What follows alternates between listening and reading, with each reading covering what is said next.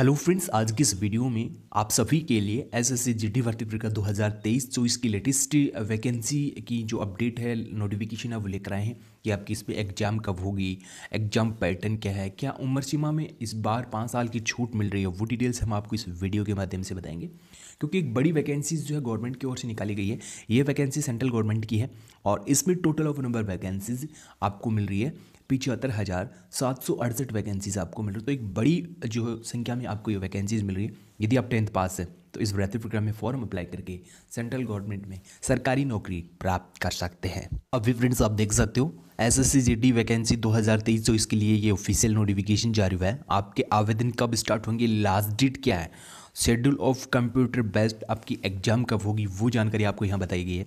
तो आपकी जो एग्ज़ाम है वो फरवरी दो हज़ार चौबीस में होगी। फरवरी 2024 में होगी। इसके बाद फ्रेंड्स यहाँ आपको पेमेंट डिटेल्स बताई है कि आपको पे स्केल क्या मिलेगा। तो अठारह हज़ार से लेकर छप्पन हज़ार रुपये यानी कि लेवल थ्री है। तो लेवल थ्री आपका होता है इक्कीस हज़ार सात सौ से लेकर उनहत्तर हज़ार सौ रुपये ये आपका लेवल थ्री है।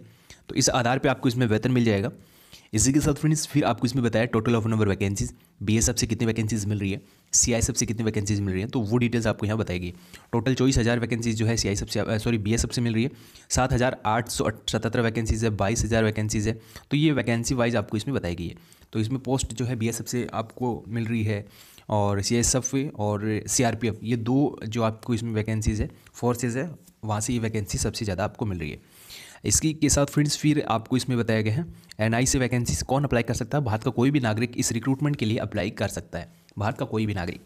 इसमें फिर आपको बताइए एज लिमिट एज की जो गणना की जा रही है, वो एक अगस्त से की जा रही है। एक अगस्त दो हज़ार तेईस, यानी कि एक अगस्त को आप कम से कम अट्ठारह अठारह अधिकतम आपकी उम्र सीमा तेईस वर्ष है तो आप अप्लाई कर सकते हैं। ये तो है जनरल के लिए। ये नियम तो होगा जनरल के लिए। इसके बाद, इसमें आपको बताया गया एस सी एस सी को छूट मिल रही है तो यहाँ पाँच साल की छूट मिल जाएगी। तो इसमें अठारह से लेके आपको बताई गई है, पाँच साल की प्लस और कर देना। सॉरी यहाँ तेईस में प्लस कर देना। और इसके बाद ओबीसी के लिए तीन वर्ष की छूट। एक्स सर्विसमैन के लिए तीन वर्ष की। फ्रेंड्स आपको इस रिक्रूटमेंट के लिए सौ रुपये का आवेदन फ़ीस देना होगा। और कुछ एग्ज़ाम सेंटर्स के नाम आपको बताए गए हैं। ये आपके एग्ज़ाम सेंटर रखे गए हैं। Exam center and seat center code आपको बताया कि कौन कौन से सेंटर होंगे एग्ज़ाम के। तो यहाँ काफ़ी सारे एग्ज़ाम सेंटर है जो आपके नज़दीक एग्ज़ाम सेंटर है, वो आप सेलेक्ट कर सकते हैं। जब आप वो ऑनलाइन फॉर्म अप्लाई करें, जैसे आप दिल्ली, राजस्थान, उत्तराखंड से हैं तो आपकी जो एग्ज़ाम सेंटर है वो इस प्रकार है। देहरादून है, हल्द्वानी है, हरिद्वार है, रुड़की है, दहली है, अजमेर है, अलवर है, भरतपुर है, बीकानेर, जयपुर, जोधपुर, कोटा, श्रीगंगानगर, उदयपुर, शिखर।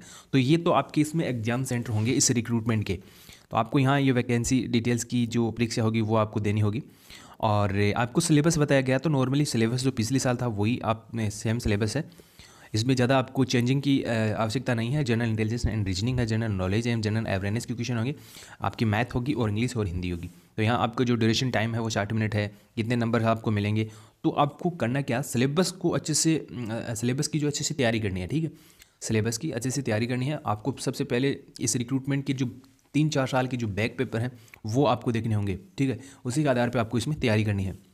इसमें माइनस मार्किंग होगी आपकी, और इसके बाद आपको इसमें बताया कि जनरल इंटेलिजेंस एंड रीजनिंग में आपको कौन कौन से टॉपिक्स मिल जाएँगे, और इसके बाद आपको मैथ में, हिंदी में कौन कौन से टॉपिक आपको कवर करने होंगे, वो जानकारी आपको यहाँ बताई गई है। इसके बाद आपकी कितनी दौड़ होगी, और वो जानकारी आपको यहाँ बताई गई है तो आपकी वही पाँच किलोमीटर की दौड़ होगी चौबीस मिनट में, और इसके बाद फ्रेंड्स, आपको इसमें बताया गया है इसके बाद यह 1600 मीटर्स की आपकी रेस होगी 1.6 किलोमीटर की छः मिनट। और इसी के साथ महिलाओं के लिए है। और आपकी हाइट जो है, इसमें 170 सेंटीमीटर, फीमेल के लिए एक सौ सत्तावन सेंटीमीटर है। और इसके बाद जो अभ्यर्थी निम्न कैटेगरी से बिलोंग करते हैं, उन अभ्यर्थियों को अलग से छूट मिल जाएगी। चेस्ट है अस्सी टू पिचासी सेंटीमीटर। और अन्य अभ्यर्थियों को छूट भी मिल जाएगी। तो यदि आप भी एस एस वैकेंसी का इंतज़ार कर रहे हैं तो आप सभी के लिए बड़ी खुशखबरी है। एस एस वैकेंसी 2023 हज़ार इसका ऑफिशियल नोटिफिकेशन आ चुका है। आप इसके लिए अप्लाई कर सकते हैं और सरकारी नौकरी प्राप्त कर सकते हैं।